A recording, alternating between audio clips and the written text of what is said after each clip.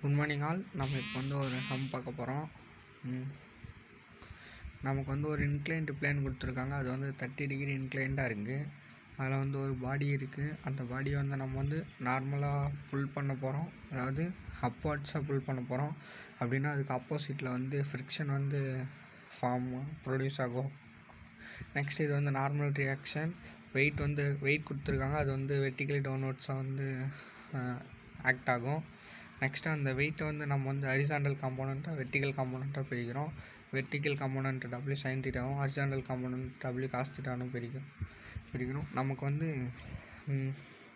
Wait வந்து four fifty Newton கொடுத்துருக்காங்க. அது ஒரு இன்க்ளினேஷன் வந்து thirty degree coefficient of friction கொடுத்துருக்காங்க. அது வந்து zero point two five next வந்து இந்த பாடி வந்து எவ்வளோ மூவ் ஆயிருக்குன்ட்டு கொடுத்துருக்காங்க.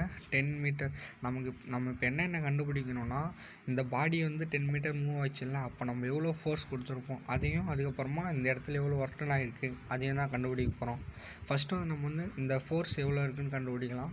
அதுக்கு ஃபஸ்ட்டு வந்து நம்ம வந்து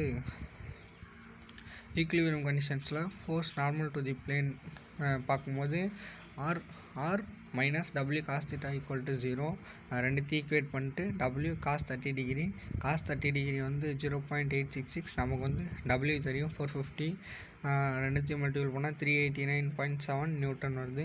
இது வந்து நார்மல் ரியாக்ஷன் நெக்ஸ்ட் இந்த நான் நெக்ஸ்ட் வந்து ஃபோர்ஸ் அலாங் தி பிளேன் பார்க்க போகிறோம் ஃபோர்ஸ் அலாங் தி பிளேன் என்னன்னா இது வந்து அதாவது பி இங்கே வந்து மைனஸ் ஃப்ரிக்ஷன் இருக்குது அது ஒருமா டபிள்யூ சைன் தேர்ட்டி டிகிரி இருக்குது அதனால் P minus F minus W sine thirty degree P equal to W sine thirty degree plus F ஃப்ரிக்ஷன்னா நமக்கு ஃபார்முலா தெரியும். கோஎஃபிஷியன்ட் ஆஃப் ஃப்ரிக்ஷன்ட்டு நார்மல் ரியாக்ஷன் நார்மல் ரியாக்ஷன் நம்ம ஏற்கனவே கண்டுபிடிச்சிருக்கோம்.